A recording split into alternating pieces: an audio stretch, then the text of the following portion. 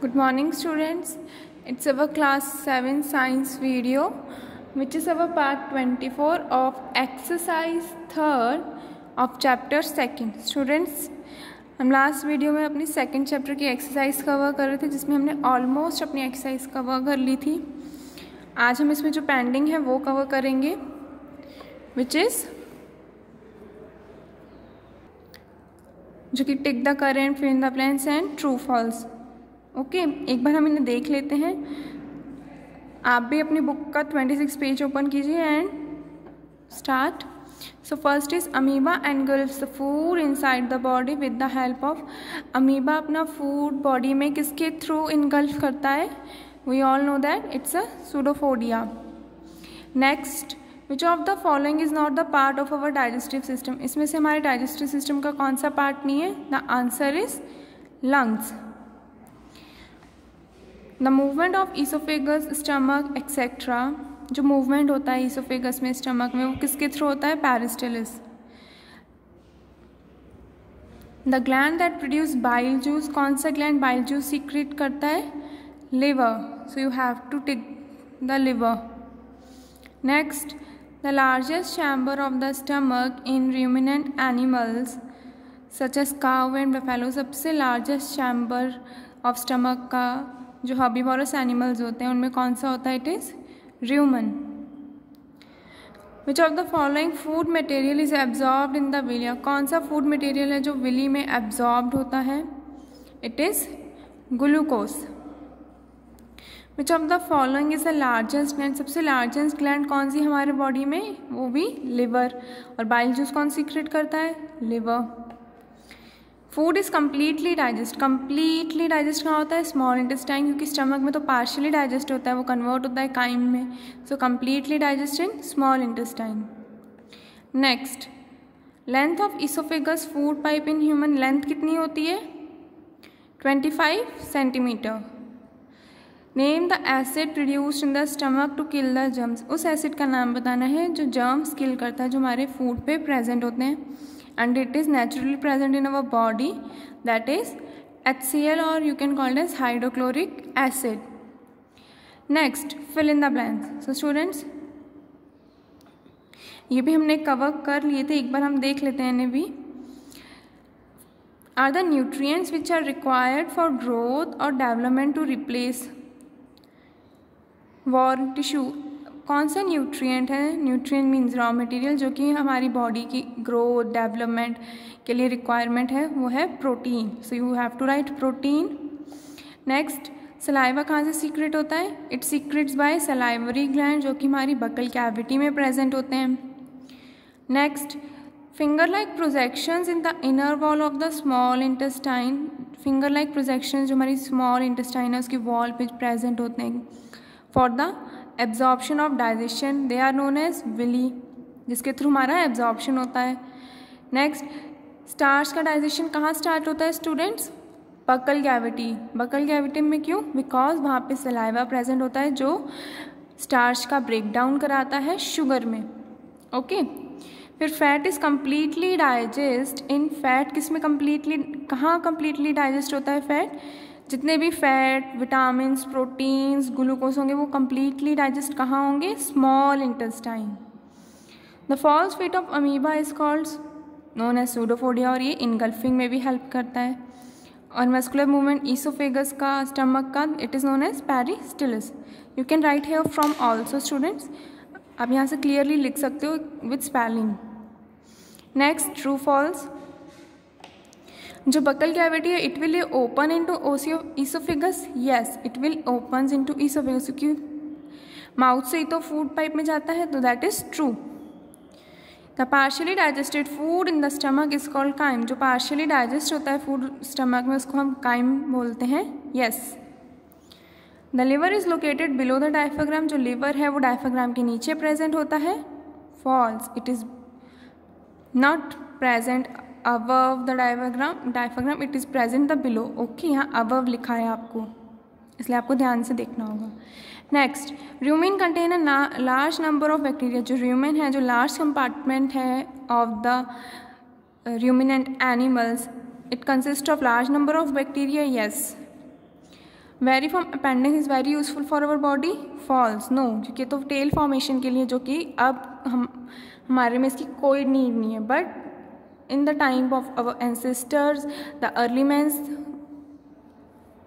जो सबसे स्टार्टिंग में थे, उनमें इनकी they are use that time okay so इतना हम अपनी शायद लास्ट वीडियो में स्टूडेंट कवर कर चुके थे। एक बार मैंने आपको फिर से रिवाइज करा दिया है, अगर एक्सरसाइज आपकी कंप्लीट नहीं हुई हो ओके सो आप दोबारा इसे राइट डाउन कर सकते हो। नाउ मैच द कॉलम, ये भी हम कवर कर चुके थे। आप एक बार देख सकते हैं जो कार्बोहाइड्रेट है, वो क्या है? उससे क्या ब्रेकडाउन होता है? ग्लूकोज प्रोटीन है, वो क्या है? हमारा amino acid ruminant card oesophagus peristalsis frog क्या इंटेक करता है? Insects one word students now with the help of these amoeba engulf the food amoeba किसके थ्रू अपने फ़ूड को इनटेक करता है? इट्स सुडोफोडिया डाइजेशन कहाँ होता है? Where does the digest food get absorb जो हमारा डाइजेस्टिव फ़ूड है, वो कहाँ एब्जॉर्ब होता है? In the small intestine what are the four types of teeth अब टीथ्स के फोर टाइप्स बताने हैं students we know that incisor जो कि जैसे बाइटिंग में हेल्प करते हैं. कैनाइंस जो कि मीट चिकन में हेल्प करते हैं. प्रीमोलर्स एंड मोलर जो कि चपाती ईट करने में हेल्प करते हैं. Next where does digestion digestion कहाँ होता है? जहाँ पे कंप्लीट एब्जॉर्प्शन होगा कंप्लीट एब्जॉर्प्शन कहाँ होता है? स्मॉल इंटेस्टाइन में. सो स्टूडेंट्स हमारी इतनी एक्सरसाइज ऑलरेडी कंप्लीटेड हो गई है। इन लास्ट वीडियो मैंने अगेन आपको रिवाइज करा दिया है। जो मेन है वो है अब क्वेश्चन आंसर स्टूडेंट्स मैं आपको again I am revising you that you have to write down these question answers in your fair notebook with fair handwriting and student one more thing हमारे फ़र्स्ट चैप्टर के question answer pending थे तो वो हम इसी video में और second chapter के क्वेश्चन आंसर के साथ ही उन्हें भी कवर करेंगे। So your homework is you have to write on question answer of first chapter and second chapter by writing on the page first chapter first chapter is student nutrition in plants so आप first chapter के भी question answer करेंगे और second chapter के भी। First chapter के मैं आपको भी करा दूँगी। Answer in a sentence. Describe how starch is partially digested in mouth. अब इसमें हमें बताना है कि स्टार्च कैसे डाइजेस्ट होता है माउथ में। हमने पढ़ा था with the help of saliva. आपका आंसर होगा page number twenty one. I already write down the page number so open the page number twenty one student so it's twenty one so you have to take your आपका answer होगा यहाँ से okay okay? Second line से saliva break down the starch carbohydrate into sugar किसकी वजह से starch का break down होता है? सलाइवा तो आपका आंसर होगा सलाइवा से लेके शुगर तक. मैंने पहले ही मार्क करा हुआ है, आप लोग भी मार्क कर लीजिए, ये आपको अपनी कॉपी में लिखना होगा. पहले आप क्वेश्चन लिखेंगे. क्वेश्चन क्या था कि स्टार्च का ब्रेक डाउन कैसे होता है, वो आपको एक्सप्लेन करना है. आंसर आपका ये रहा. अब आप सेवन स्टैंडर्ड्स में हैं so you know how to write your question answer in the notebook so so, answer है आपका सिलाइवा से लेकर शुगर तक। Next distinguish between ingestion and egestion अब इसमें आपको बताना है कि इंजेशन क्या होता है एंड ईजेशन क्या होता है। सो स्टूडेंट इंजेशन और ईजेशन में आपको एक बार एक्सप्लेन कर देती हूँ। In means intake so intake of food is known as ingestion and E means removal so removal और undigested food that is the egestion which is on page number 18 so open the page number 18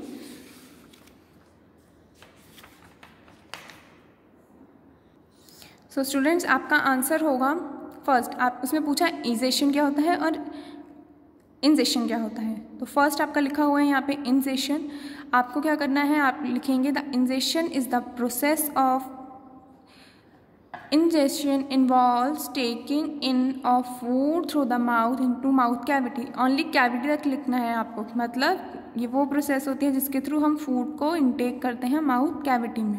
तो ये आपका हो गया first ingestion उसमें दो to states में आपको पूछे हैं। एक इंजेशन पूछा है, एक ईजेशन पूछा है। फ़र्स्ट हो गया आपका इंजेशन जो कि द प्रोसेस से माउथ कैविटी तक। नेक्स्ट ईजेशन है।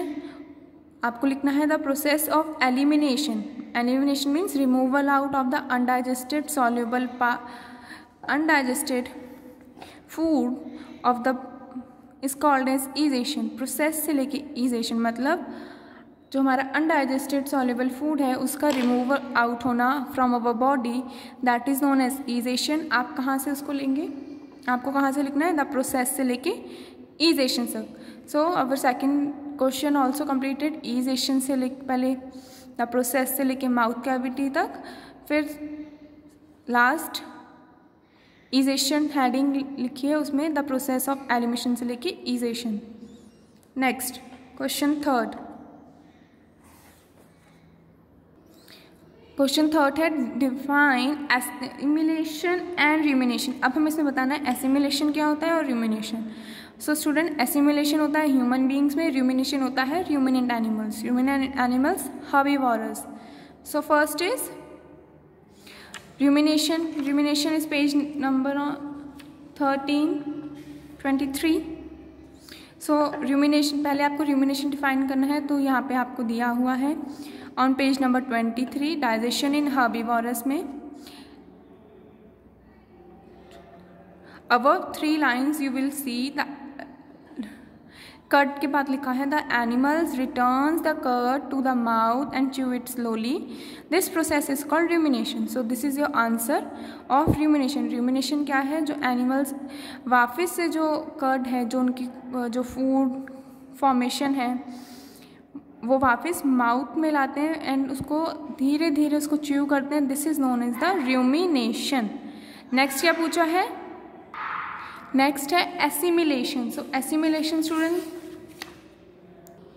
so so, assimilation आपका उसी में दिया हुआ है पेज नंबर 18 पे आपको वहाँ हेडिंग लिखी होगी एसिमिलेशन ईजेशन के ऊपर। आपको क्या करना है आपको लिखना है the process involves use of absorb food materials to build complex food material that is on such as protein ये क्या हो गया आपका एसिमुलेशन वो प्रोसेस जिसके थ्रू जो एब्जॉर्ब फ़ूड मटेरियल है वो कॉम्प्लेक्स फ़ूड मटेरियल फॉर्म करता है जैसे कि प्रोटीन। बस आपको इतना ही लिखना है, द प्रोसेस से लेके प्रोटीन तक। तो आपका question third is also completed जिसमें आपको र्यूमिनेशन बताना है और एसिमिलेशन स्टूडेंट्स आपको ये क्वेश्चन आंसर अपनी फेयर नोटबुक में करने हैं, मैं आपको फिर बता रही हूँ। ईजिली आपको सब मार्क करके दे दिया है एक्सरसाइज फिल करके दे दिया, बस आपको राइट डाउन करना है। फ़र्स्ट चैप्टर के भी मैं आपको करा दूँगी question answer okay so students हमारा जो एफ़ पार्ट है, वो कंप्लीट हो गया है। ऑलमोस्ट जो जी पार्ट है, वो हम अपनी नेक्स्ट वीडियो में कवर करेंगे और फ़र्स्ट चैप्टर भी also okay so you have to write down question answer again I am telling you